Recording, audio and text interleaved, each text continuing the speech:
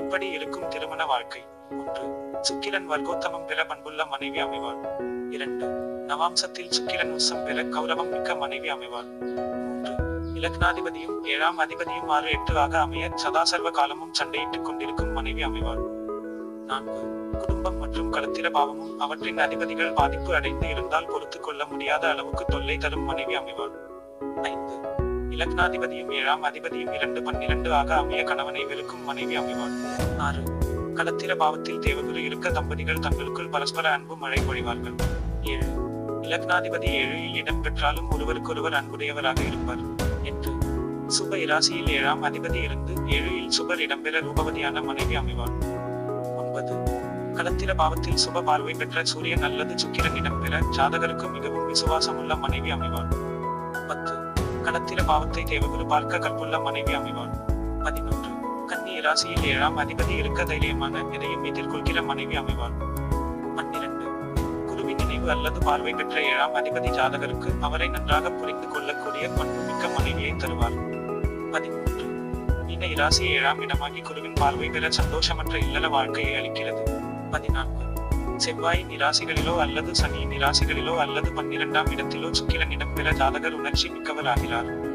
பதினைந்து. பலம் மிக்க களத்தில காரகனும் பாக்கிய பாவத்தில் இடம்பெற்ற பலம் மிக்க ஏழாம் அதிபதியும் மனைவி மூலமான அதிர்ஷ்டத்தை குறிகாட்டுகிறார். பதினாறு. ஏழாம் இடம் ஏழாம் அதிபதி மீதான சனி மற்றும் செவ்வாயின் தாக்கம் எதற்கும் எரிச்சல் அடையக்கூடிய மனைவியை தருகிறது. பதினேழு. கடக சிம்ம இராசிகளை இலக்கணமாக கொண்ட தம்பதிகள் இடையே பிரிவு ஏற்படும் அல்லது மனைவி விதவையாவார். பதினெட்டு சுக்கிரன் சனி இணைவு மன வாழ்க்கையில் துன்பங்களையும் வழக்கு விவகாரங்களையும் தருகிறது. பத்தொன்பது செவ்வாய் அல்லது சனி வர்க்கங்களில் சுக்கிரன் இருக்க அல்லது இவர்களில் ஒருவரின் பார்வை பெற ஜாதகருக்கு மாற்றான் மனைவியோடு நெருக்கத்தை உண்டாக்கிவிடுகிறது. இருபது பெண்ணின் ஜாதகத்தில் சந்திரன் இருக்கும் இடத்தில் ஆணின் சூரியன் இருக்க மகிழ்ச்சி நிறைந்த மன வாழ்க்கை அமையும். இருபத்தி ஒன்று ஒருவர் ஜாதகத்தில் சந்திரனுக்கு திரிகோணத்தில் சூரியன் இருந்தாலோ அல்லது சூரிய சந்திரர்கள் பரிவர்த்தனை அடைந்தாலும் இணக்கமான சந்தோஷமிக்க மன வாழ்வை மலரச் செய்கிறது.